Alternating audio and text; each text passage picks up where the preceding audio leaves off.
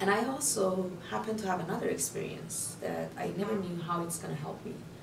But uh, I was at some point I was the leading actress of a film that Whoa. became um, pretty famous and successful because What- of the brilliant film? director. It's called Secret Ballot by Sony Pictures. Oh, okay, okay. So 2003, when I came here, it was Mhm.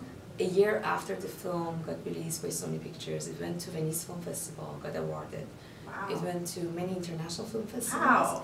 And the year before I came here, it was on a tour on um, on a tour in U.S. and um, Europe. Okay, okay. So when I arrived to the U.S., it was on Netflix, and then wherever I went, Yeah. regardless of how I felt about it, and I didn't honestly, I didn't feel that well about the film back back then. Okay.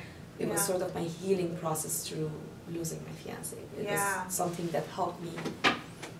I, I was asked, but like Mhm. then at whichever campus I was at, like Yeah. with, the, with school, they they're like, oh, you were in this film. Let's have a screening and Q and A session. Yeah.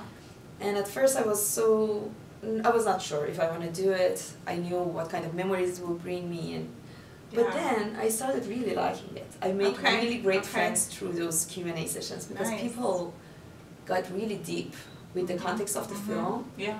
and then we had human connections. Like I was not labeled as a poor Middle Eastern woman anymore. Yeah. I was someone who could answer questions, You're, which means you're a person. I am a person, Yeah, yes, exactly.